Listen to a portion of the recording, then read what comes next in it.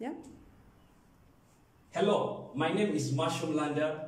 I'm a project coordinator at the Russian Culture Center in Zambia. I would like to welcome you all to the International Cosmonautics Day.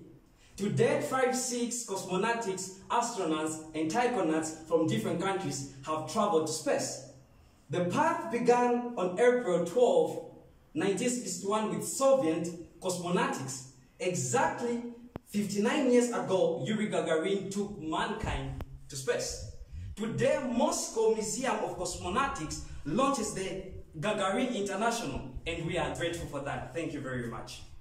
Yuri Gagarin, born in the village of Klushino, he spent much of his time in his village. And in 1941, September, the Nazi Germany invaded their village, of which it disturbed Yuri Gagarin's studies. On April 9, 1943, the Red Army liberated the village and the studies resumed. In June 1951, Yuri graduated from college with honor and entered a technical school in the city of Saratov. Going on in 1954, Gagarin entered the flight club, performed 196 flight and flew 42 hours, 23 minutes. Thank you very much. At this particular moment in time, I'd love to invite my friend Solomon. Woo! Bravo!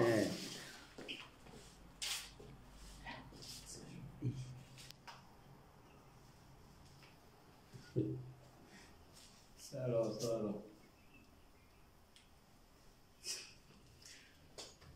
On March 7, 1960, Yuri was enlisted as listener, cosmonaut in the cosmonaut group. Hmm. On January 25, 1961, he was appointed by the cosmonaut group the full-fledged cosmonaut. Yuri was the commander of our class department, record pilot instructor Valentin Palekin. He was short in height, about 63 meters, hmm. at most 60, 65 meters. Weight was so small, 60 kilograms.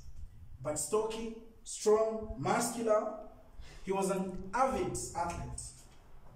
He sang in the choir, danced, we carried the heavy loads on Cosmo work. He was wonderful, sympathetic. We considered Yuri strong in theory and often turned to him for help. He never refused. In March 1961, 20 people were enrolled at the first cosmonaut group. Of these, 12 managed to fly into space.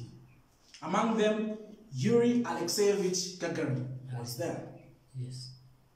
You can see how the heart of the first cosmonaut was beaten before launch. On this unique document, this is an electrodiagram taken from Yuri Gagarin, taken less than before the day, his historic flight. On the evening of April 11, 1961, Gagarin's heart, rhythms, and other medical indications were taken every four hours, according to the recollections at Dover. On April 12, 1961, the first cosmonaut, Yuri Gagarin, realized the centuries-old dream of mankind flying into space. The Vostok ship with Yuri Gagarin on board circled the Earth in 108 minutes and landed safely.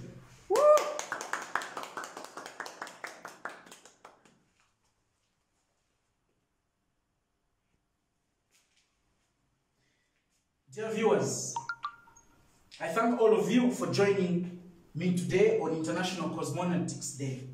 Today we remember the day when Yuri Gagarin, the world's first man into space, made his legend- legendary flight.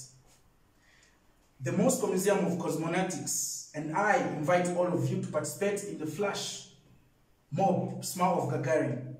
It is simple. The first cosmonautic is known to the whole world, not only for his flight, but also for his open smile. We offer to share positive emotions with each other. It's easy to participate.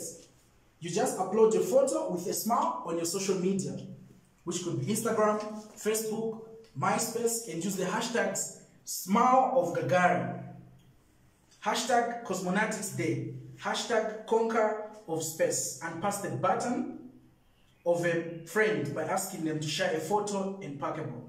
I am Solomon Zunda Simbe from Zambia, Lusaka. Yeah. Thank you, Solomon Marshall. Please join us. Thank you, Museum of Cosmonauts in Moscow, for this opportunity. I'm so grateful to these guys that they come and do this performance. And uh, so, hello from Zambia, Lusaka. Hello, Zambia, Lusaka.